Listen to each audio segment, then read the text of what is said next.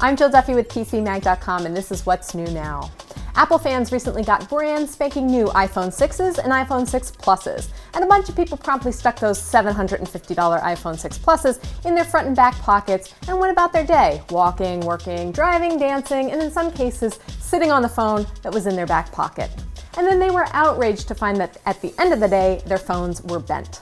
The very vocal online community are calling it Bendgate. Okay, I get that people expect a device to be fairly rugged. A smartphone is one of those things you bring with you everywhere. You toss it in your bag or your purse, you throw it onto your desk, your nightstand, and most of us have probably even dropped a phone on the sidewalk or on the kitchen tile or linoleum if your floors are kind of old. And very often, depending on how it lands, it'll survive. Of course, since the tipping point of smartphones, we've also come to realize that we need to be a little bit careful with these devices that cost hundreds of dollars.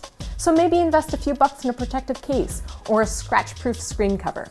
People who bought iPhone 6 Pluses wanted a phone with a bigger screen. They also wanted a phone that was thin and one that, in Apple parlance, just works. Does the iPhone 6 Plus with its 5.5 inch screen meet all of that criteria? Yeah. And does it being thinner, longer, and wider than previous models have a bit of give? Yep. Now, in the barrage of images hitting Twitter, see the hashtag BendGate, I also noticed on the day that the iPhone 6 Plus launched, a few women were posting photos of the very large iPhone jutting out of their skinny jeans pockets, with tweets noting that that gigantic phone simply doesn't fit in pockets. Maybe that should have been the first tip off that these phones aren't pocket proof.